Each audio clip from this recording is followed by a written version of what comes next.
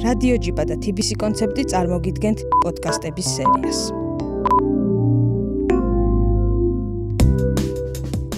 მოგესალმებით, მე გახლავარ ზაზა აბაშიძე, ჯიპას პროფესორი მსოფლიო ისტორიის დარგში და დღეს ჩვენ გვექნება საუბარი თბილისზე.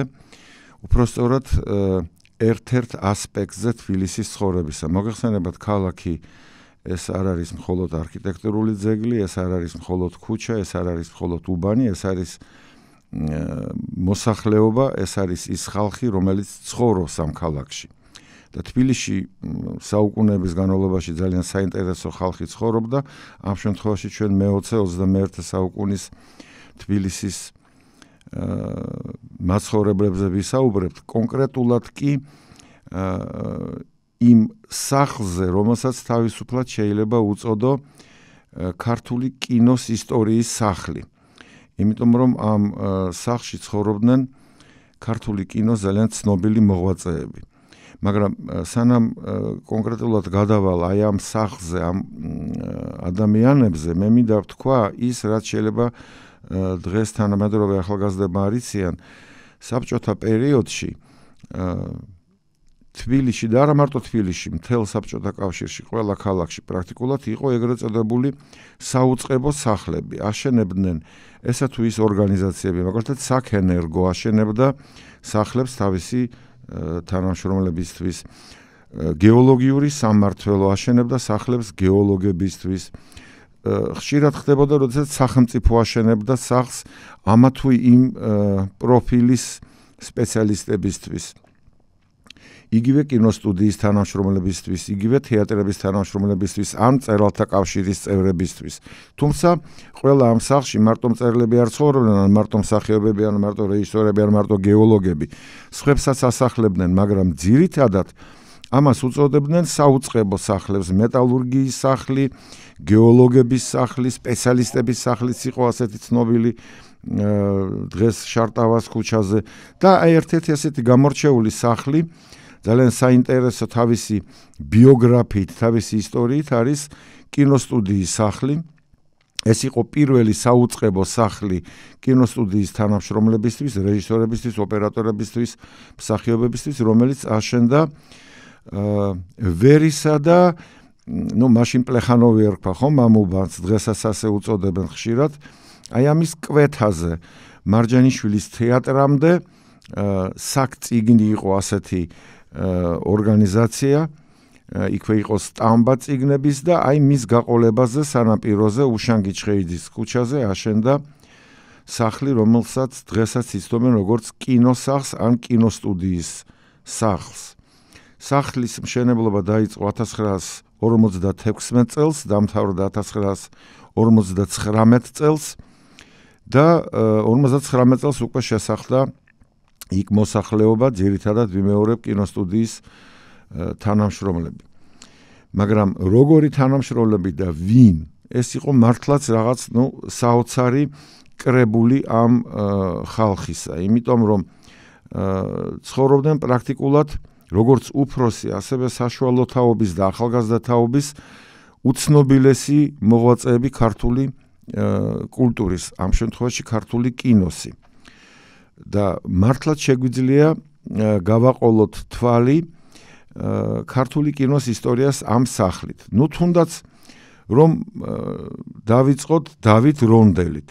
დავით რონდელი ძალიან ცნობილი ქართველი რეჟისორი, რომელიც ავტორია ფილმისა დაკარგული სამოთხე. ეს ერთ-ერთი საუკეთესო ფილმი 30-იანი წლების 1927 წელს გადაიღო ბატონმა დავით რონდელმა ეს ფილმი. დავით კლდიაშვილის მოთხრობების მიხედვით იყო აგებული და იქ თამაშობდნენ ძალიან ცნობილი მსახიობები ბათუ კრავეიშვილი, დუდუხანა წეროძე, სანდრო ჟორჟოლიანი, აკაკი ხინთიბიძე, რომელიც შემდგომში რეჟისორი გახდა და ქართული მულტიპლიკაციის ერთ-ერთი ფუძემდებელი იყო. აი დავით რონდელი 27 წელს გადაიღო ეს ფილმი. უკვე ქართული კინოს ისტორიის ერთ-ერთი ყველაზე საინტერესო ფურცელია. ანდა ვთქვათ, ну, ყველა მიცის ეს ფილმი, ყოველ შემთხვევაში ჩვენ ყველამ ვიცოდით ჩვენი თაობის ადამიანებმა. ერთ-ერთი საინტერესო ფილმი ქაჯანა, რომელიც ომის წლებში 45 წელს გადაიღეს მე მგონი თუ 46 წელს ეს არის ფილმი სადაც პირველად გამოჩნდა შემდეგში ძალიან ცნობილი მსახიობი მართლა ვარსკვლავი ქართული კინოსი ლეილა აბაშიძე ქაჯანას ავტორი კონსტანტინე კოლეპიპინაშვილი ცხოვრობდა სწორედ ამ სახლში. ან და ვთქვათ ავიღოთ ერთ-ერთი ნუ მართლა საეტაპო ფილმები ქართულ კინოში. მაგდანას ლურჯა, ჩვენი ეზო, ეს ორი ფილმი, ნუ ყველასათვის ცნობილია და განსაკუთრებით კინოს ისტორიკოსებისთვის, იმიტომ რომ მართლა ძალიან საინტერესო და ახალი საფეხური იყო ქართულ კინოში. ერთის ავტორი იყო რეზო ჩხეიძე, ჩვენი ეზოსი და მეორეს ავტორი მაგდანას ლურჯის ორივენი იყვნენ თენგიზ აბულაძე და რეზო ჩხეიძე და ორივენი ცხოვრობდნენ ამ სახლში. ყველა მიცის და დღესაც ძალიან ხშირად აჩვენებენ კინოკომედიას უდიპლომო სასიძო. უდიპლომო სასიძოს რეჟისორი ბატონი ლევან ხოტივარი, ლელიკო ხოტივარი ამ სახლში ცხოვრობდა. ეხლა მე რეჟისორები დავასახელე, მაგრამ ამ ფილმის მონაწილე მსახიობებიც ჩვენთან ცხოვრობდნენ. ну, მსახიობებიდან რო დავასახელოთ, საკმარისია ვთქვა ლია ელიავა, ოთარ კობერიძე, დოდო აბაშიძე მოგვიანებით გადმოვიდა ამ სახლში საცხოვრებლად ქალბატონი ზინა კვერენჩხილაძე. მართლა ძალიან საინტერესო სახეობები, რომლებმაც ბევრი ეკრანული სახე შექმნეს. არ ცხოვრობდა ჩვენ სახში, მაგრამ პრაქტიკულად ცხოვრობდა უცნობილესი ქართველი მსახიობი სანდრო ჟორჟოლიანი, რომლის ქალიშვილი დინარა ჟორჟოლიანი ასევე ფილმში, რამდენიმე ფილმში გადაღებული იყო, ცხოვრობდა ჩვენ სახში, ამიტომ ბატონი სანდროც ძალიან ხშირი სტუმარი იყო ჩვენი სახლის. კიდევ თქვათ, კინო ხომ არ არის მარტო მსახიობი და რეჟისორი, არის ოპერატორი, არა და ოპერატორები ვთქვათ იგივე ბატონი გიორგი ტიტო კალატოზიშვილი. ძალიან ცნობილი ოპერატორი, რომელიც შემდეგ გახდა რეჟისორი და რამდენიმე ფილმი გადაიღო. ტიტო კალატოზიშვილი და ამ სახში დაიბადა აქვე ვიტყვი, მისი შვილი შესანიშნავი რეჟისორი ჩვენი თაობის და გამორჩეული ადამიანი ჩვენი თაობისთვის და ჩვენი მეგობარი ბავშვობის მიშა კალატოიშვილი სამწუხაროდ ადრე წასული ამ ქვეყნიდან უკვე 5 თუ 6 წელი გავიდა რაც მიშკა გარდაიცვალა. ოპერატორებზე როცა ვლაპარაკობთ არ შეიძლება არ დავასახელოთ ძალიან ბევრი ქართული კინოს დამდგმელი ოპერატორი ბატონი ფელიქს ვისოცკი რომელიც ასევე ჩვენთან ჩვენ სახში ცხოვრობდა იქ პირველ სართულზე. ეხლა მხატვრები ავიღოთ, კინოს მხატვრები. მეზმარიაშვილი და გიგაური ეს დუეტი ცნობილი იყო ყველა ქართველი კინოხელოვანისთვის, იმიტომ რომ ძალიან ბევრი ფილმის მხატვრები იყვნენ ისინი. კახი ხუციშვილი, ასევე ცნობილი კინომხატვარი, რომელიც ჩვენ სახში ცხოვრობდა. მე მულტიპლიკაცია დავასახელე და ვახსენე და ჩვენთან ცხოვრობდა აი როგორც უკვე თქვი ქართული ორი არაჩვეულებრივი მულტფილმის შემქმნელი მანამდე რამდენიმე ფილმში ნათამაშები ბატონი კაკო ხინთიბიძე იგივე არკადი ხინთიბიძე მან გადაიღო წუნა და წრუწუნა და ჩხიკვთა ქორწილი. ნუ ეს მართლაც ოქროს ფონდია ხომ ქართული მულტიპლიკაციური მულტიპლიკაციური ფილმის. რახან მულტიპლიკაციაზე ვსაუბრობთ? არ შეიძლება არ ახსენო არაჩვეულებრივი პიროვნება.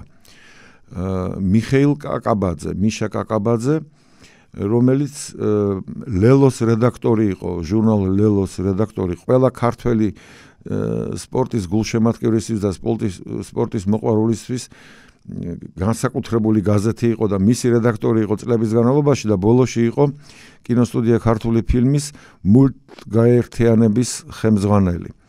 ბატონი მიხეილ კაკაბაძე ეს რაღაც მართლაც განსხვავებული პიროვნება იყო.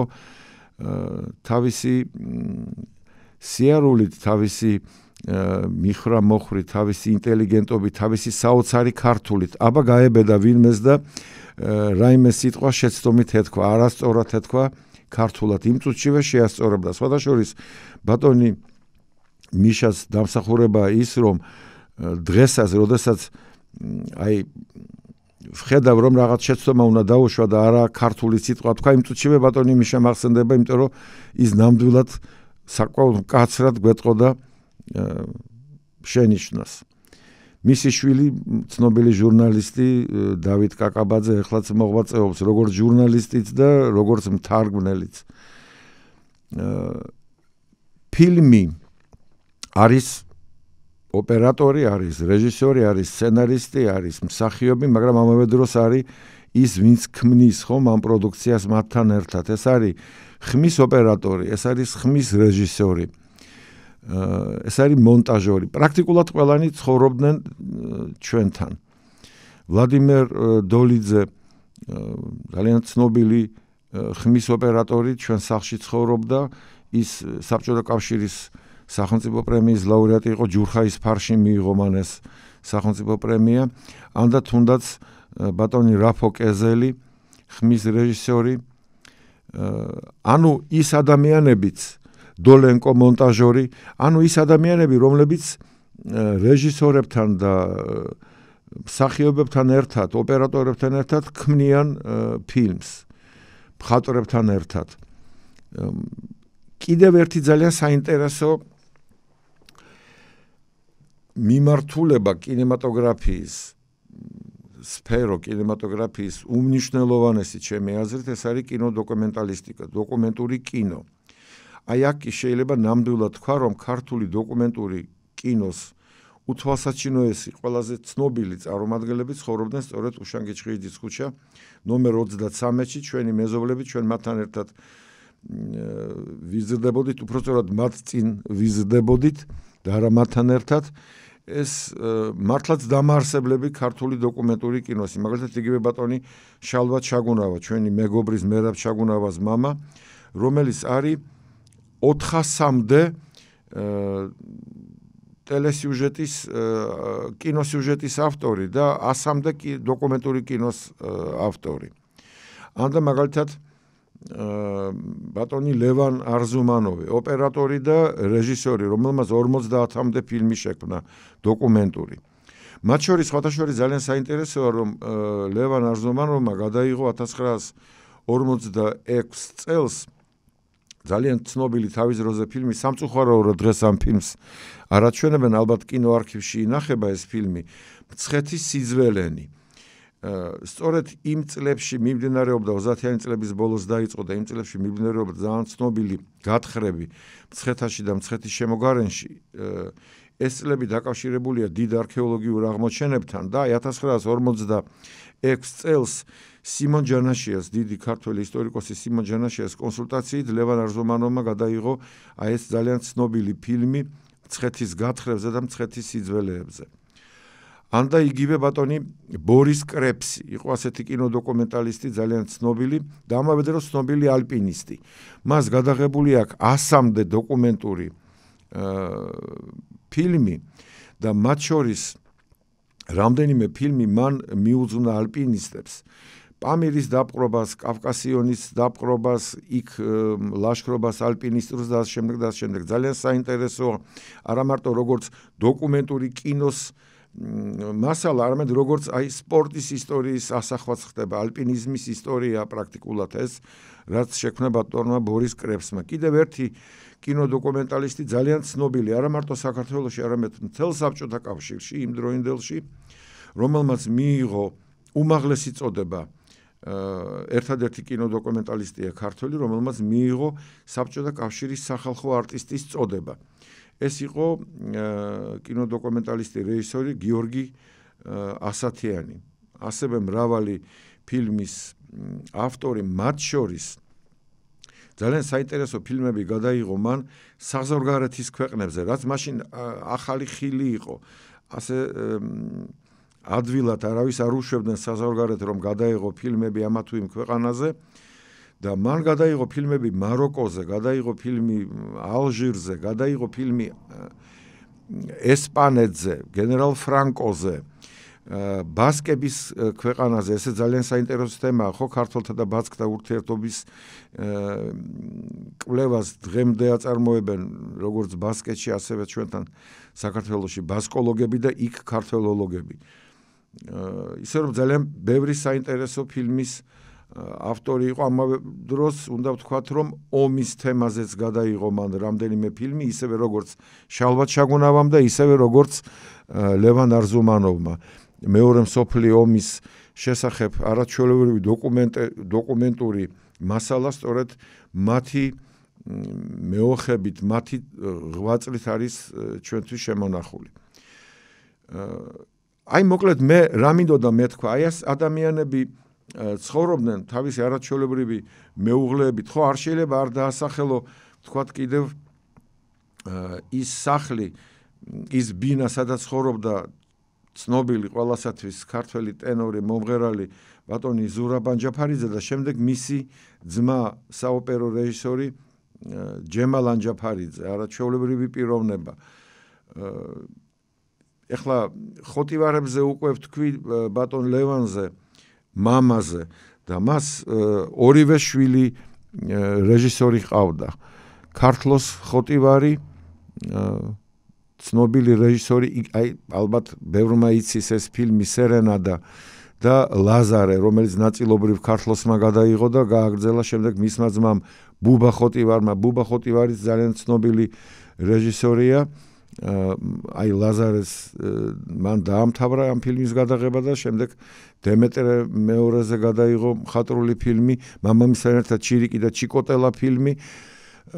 ბატონი ბუბაც სამწუხაროდ აღარ არის ამ ქვეყნად ჩარშან გარდაიცვალა გარდაიცვალა აი ამ ვერაგი დაავადებით კოვიდით. ქალბატონის ძინა კვერენჩხელაძე მე უკვე ვახსენე. ქალბატონის ძინა რამდენიმე ფილმშია მხოლოდ გადაღებული მაგრამ ეს იყო დიდი ქართველი თეატრალური მსახიობი ლია ელიავაზე. ნუ ალბათ ზედმეტისა ლაპარაკი ეს იყო მართლაც ქართული კინოს მშვენება ულამაზესი ქალბატონი და მისი მეუღლე ასევე რაღაც საოცარი სილამაზის მქონე ადამიანი მამაკაცი ოთარ კობერიძე და მათი შვილი ჩვენი მეგობარი სამწუხაროდ აღარ არის ამ ქვეყნად ნანა კობერიძე რომელიც ამ 4-20 წლის წინ გარდაიცვალა. მე დავასახელე უბრალოდ პიროვნებები მაგრამ ამ პიროვნებების უკან დგას ისტორია ისტორია ქართული კინოსი და არა მარტო ქართული კინოს ისტორია, ქართული კულტურის ისტორია, ქართული საზოგადოებრიობის ისტორია იმ პერიოდის. ხო თქვენ წარმოიდგინეთ, აი ბატონი კოლა პიპინაშვილი რა პიროვნება იყო, აი ქაჯანას ავტორი. მე რამდენჯერმე მithქვავს და ეხლაც მინდა გავიმეორო თქვენს ეთერში. და ახალგაზრდებს მოუყვე ამის შესახებ. ეხლა ბატონი კოლა გარდაიცვალა, როდესაც ჩვენ აი ჩემი თაობის ახალგაზრდები მაშინ ბავშვები ვიყავით პრაქტიკულად 10-12 წლისანი და ეზოში როდესაც თამაშობდით ბავშვები 5-6-7 წლის ბავშვები და როდესაც ბატონი კოლა გამოივლიდა მას ყოველთვის ისეთი ქუდი ეხურა შლაპა და ჩვენ მივესალმებოდით აი ეს ადამიანი აუცილებლად ქუდს მოიხდიდა ჩვენთან სალმისას.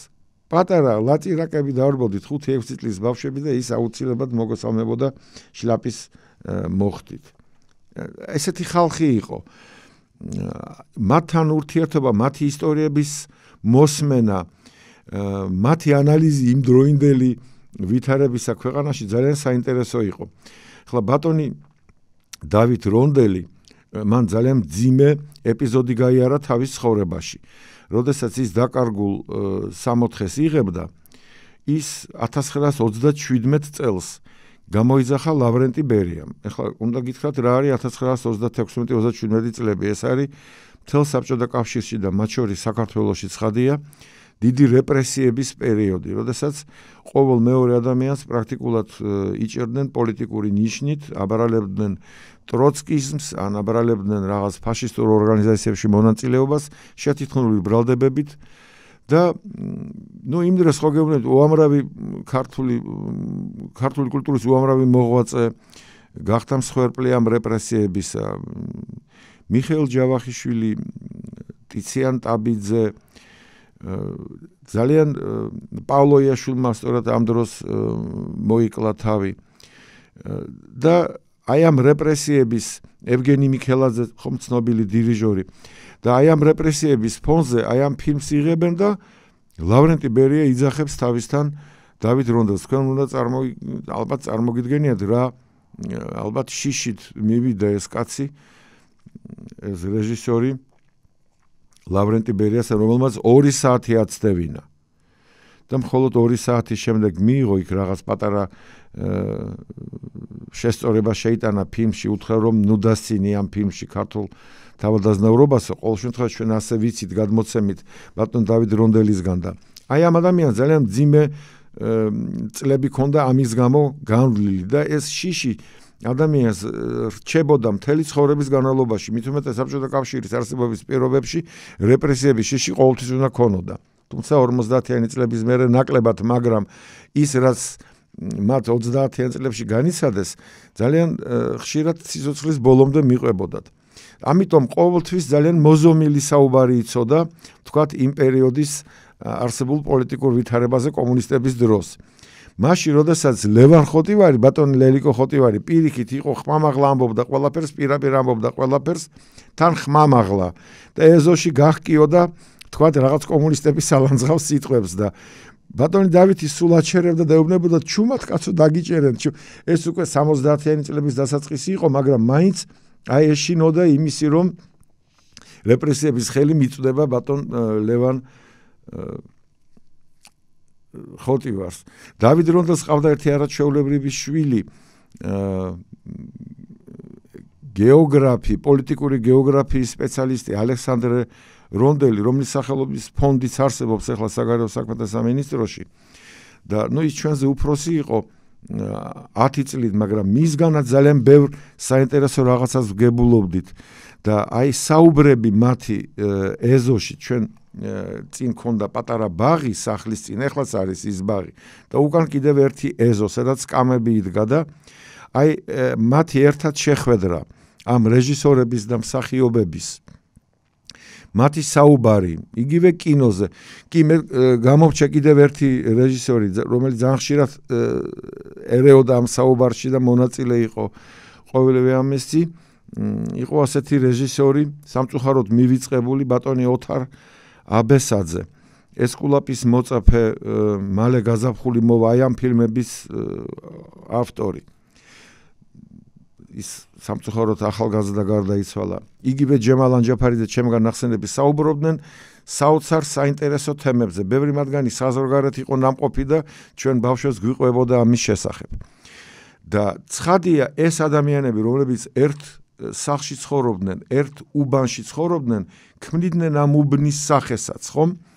აი ის რასაც თბილისში ეძახოდნენ პლეხანოვს და პლეხანოველებს ესენი ნამდვილად განსაკუთრებული წარმომადგენლები იყვნენ ამ უბნისა თავისი ცოდნი თავის განათლები განათლები თავისი ინტელექტი თავისი ზრდილობით თავისი დახვეწილობით თავისი კეთილშობილებით მართლაც საოცარი ადამიანები იყვნენ და ტოლს არუდებდნენ იმ დიდ პლეხანოველებს ეგრეთ წოდებულებს რომელთა დასახელება მე მგონი მაინც ღირს. ვინ ცხოვრობდა კიდევ ამ უბანში ქართული მეცნიერების კორიფეები ყოველ შემთხვევაში ჰუმანიტარული მეცნიერებისა.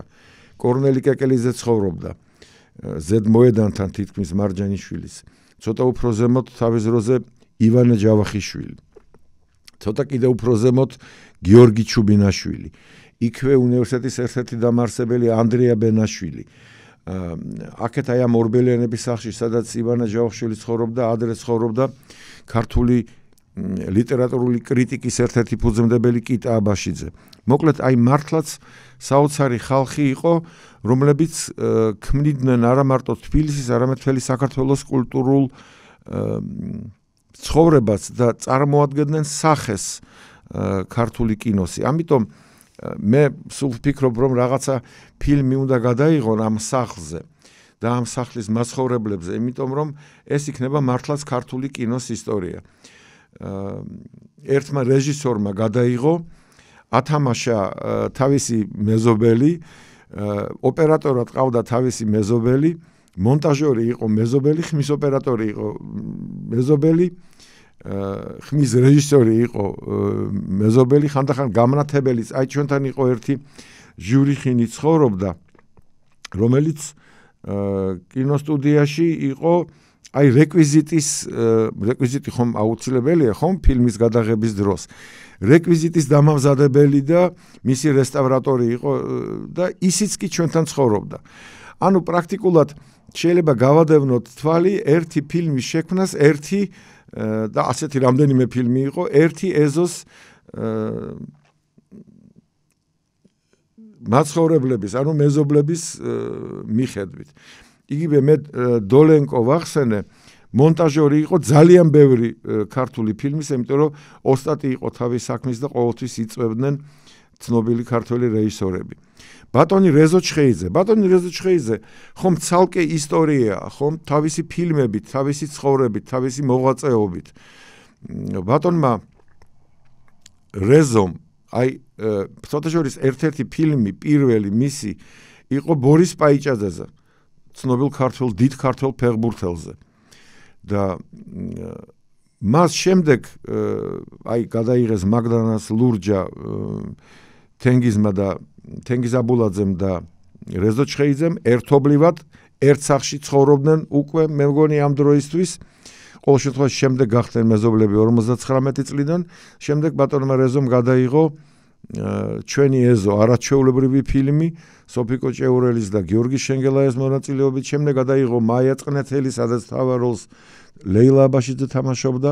შემდეგ ამას მოყვა ნუ ყველასათვის ცნობილი ფილმი ჯარისკაცის мама სერგო ზაქარიაძის მონაწილეობით მონაწილეობით კი არა თავარ როლში იყო ბატონი სერგო შემდეგ კიდევ რამდენიმე ფილმი და სხვადასხვის მივიწყებული ფილმი ძალიან საინტერესო განძი, რომლის ავტორი ასევე ბატონი რეზო ჩხეიძე იყო. შემდეგ დონ კიხოტი, შობლიურო ჩემო მიწავ რაიკომის მდივანი იგივე ფილმი, ისე რომ ბატონი რეზო რომ დადიოდა ამ ეზოში, ამაზეც მადლობელი უნდა ვიყოთ, რომ უყურებდით აი ამ დიდ რეჟისორს, ისევე როგორც დავიდ რონდელს, ისევე როგორც კონსტანტინე პიპინაშვილს, ისევე როგორც ლევან ხოტივარს.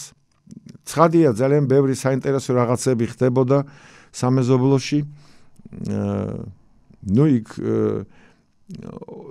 მე მეცაც გეტყვით. მე ერთხელ ერთმა ტაქსისტმა რომელმაც მიმიყვანა სახლამდე უშანგიჩხიძის 33-მდე მითხრა რომ თქვენ ამ ეზოში ხომ არ ცხოვრობთ და მე უთხარი კი ამ ეზოში ცხოვრობ მეთქი რას ლაპარაკობ? აქო ჩვენო ახალგაზრდები რო ვიყავითო ხანდახან საათობით გვიხდებოდა დგომო ძღოლებს რომ ერთი თვალი მოგვეკრათ თქვენი ეზოს ულამაზესი ქალბატონებისთვისო და იქ მართლაც რამდენიმე არაჩვეულებრივი ნუ საქართველოსი განთქმული თავისი ლამაზით ქალბატონი ცხოვრობდა ლიელიევა დავასახელე დინარა ჟორჟოლიანი ხომ აი მეორე ქალბატონი გალა გალი გალა ანჯაფარიძე ბატონ ჯემალ ანჯაფარიძის მეუღლე აქეთ ნინული ხოტივარი. მოკლედ მართლაც ულამაზესი ქალბატონები დადიოდნენ და ამითაც გამორჩეული იყო ეს ეზო.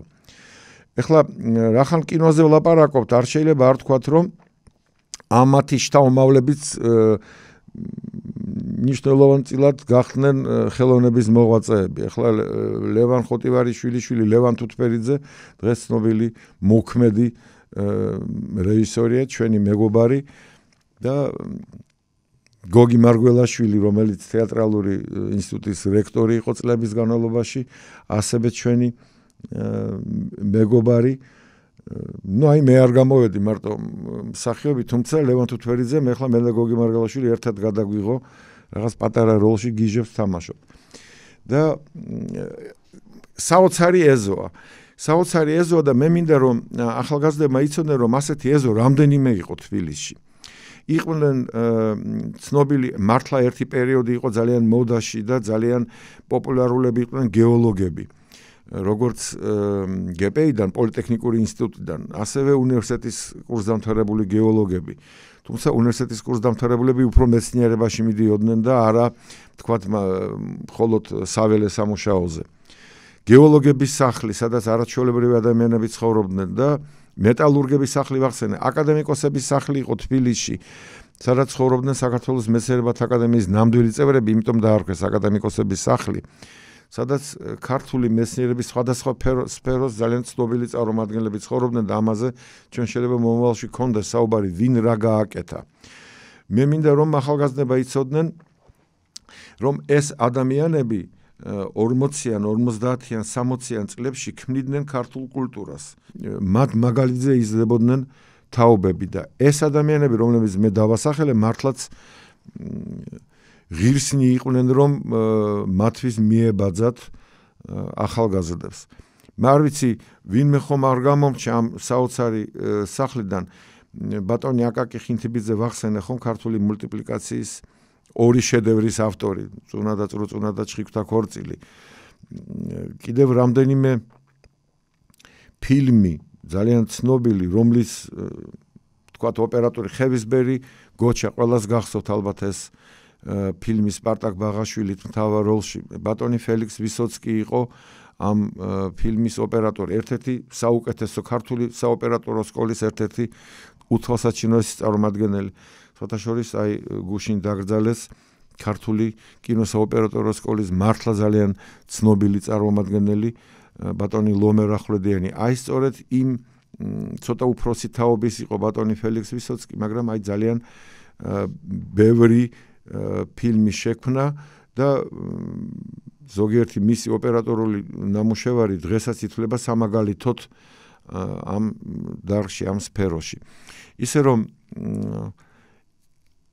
ჩვენ მე დღეს ნაკლებად ვისაუბრე შეიძლება თბილისურ რომელიღაცა უბანზე, თუმცა შევეხე მაინც აი ამ პლეხანოვის უბანს მე მინდოდა გამემახვილებინა ყურადღება იმაზე თუ რა ადამიანები ცხოვრობდნენ აი 50-იან 60-იან 70-იან წლებში. ადამიანები რომლებიც ქმნიდნენ საზოგადოებრივ აზრსაც იმ პერიოდის ქართულ კულტურასაც და რომელთა გამოჩენა ნებისმიერ ადგილას, ნებისმიერ უბანში თბილისში ყოველთვის იწევდა ძალიან ყველა უყურებდა მათ, ყველა ადევნებდა მათ თვალს და აი ასეთ აი ასეთ პირობებში, აი ასეთ gare მოცვაში ვიზრდებოდით ჩვენ და მე ბედნიერი ვარ იმით, რომ 10 წლეულების განმავლობაში მქონდა შეხება ამ დიდ ადამიანებთან, ბუმბერას ადამიანებთან, ქართული კინოს შემქმნელებთან. ამ ადამიანების გახსენება ძალიან მნიშვნელოვანია, იმიტომ რომ მე დარწმუნებული ვარ ზოგიერთი გვარი აქ დასახელებული თქვენთვის ახალგაზრდებისთვის ცნობილი არც იყო. სამაგერო თქვენ შეიძლება დაინტერესდეთ დღეიდან ვინ იყო ოთარაბესელზე, რა ფილმები გადაიღო ოთარაბესაძე, რა ფილმები გადაიღო ფელიქს ვისოცკი, რა როლები ითამაშა ზინაირა კვერენჩხილაძე. აა ჩვენი ეზო ნახოთ რეზო ჩხეიძისა ან მაგდანას ლურჯა ნახოთ მისი და თენგიზ აბულაძის ან ქაჯანა ნახოთ პიპინაშვილის ან დაკარგული სამოთხე რონდელის და ეს უკვე ძალიან ბევრ რაღაცას შეგძენ თქვენ მე ამაში დარწმუნებული ვარ. დიდი მადლობა ყურადღებისთვის. და თუ მექნება შესაძლებლობა და საშუალება, აი ამ პლეხანობის უბანზე მცხოვრებ კიდევ რამდენიმე ადამიანზე გესაუბრებით მომავალში, ივანა ჯავახიშვილზე, გიორგი ჩუბინაშვილზე, კორნელი კეკელიძეზე, კიტა აბაშიძეზე, ანდრია ბენაშვილზე, რომელთა სახელები მართლაც აი სანთლებად უნდა დაინთონ ქართველებმა, იმიტომ რომ მათ შექმნეს ქართული მეცნიერება, თავი დავანებოთ ყველაფერს მათ შექმნეს თბილისის უნივერსიტეტი ჩვენი თავარი უმთავრესი უმაღლესი სასწავლებელი. დიდი მადლობა კიდევ ერთხელ ყურადღებისთვის. რადიო ჯიბა და TBC კონცეფტი წარმოგიდგენთ პოდკასტების სერიას.